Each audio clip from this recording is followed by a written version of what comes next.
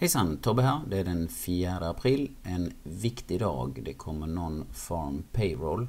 Eh, första som kommer nu eh, efter det att man inte längre kan skylla på att vädret har tryckt ner nya antalet arbetslösa. Eh, därför är den siffran som kommer idag viktig och den förväntas komma in med 200 000 nya jobb ungefär.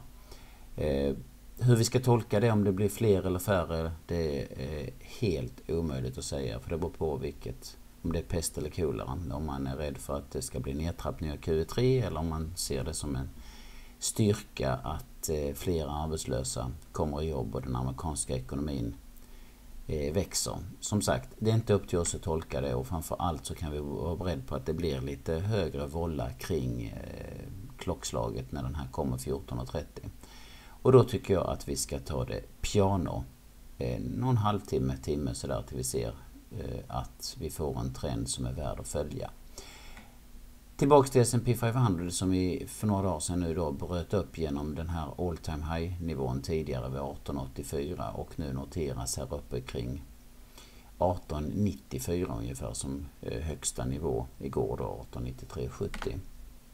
Jag ser det ändå som ett styrkebesked att inte vi fick eh, stängning under den här nivån.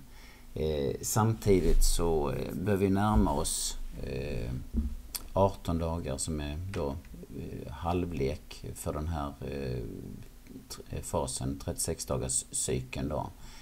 Eh, jag tycker att det är lite dålig timing att ta position för uppgång. Vi ser att vi igår hade en extremt hårt spänd gummisnodd och vi skulle behöva ha en mm, rekyl lite, eller rekyl, rekyl en, en ner någonstans, åtminstone ner till den här nivån för att det ska, och se att köparna kommer tillbaks innan det är läge att kliva på. Eh, men inom kort, eh, om det blir rekyler så ser de fortfarande som köpvärda och jag tror att vi ganska eh, inom en ganska nära framtid kommer testa av eller kanske till och med ta sig igenom 1900-nivån.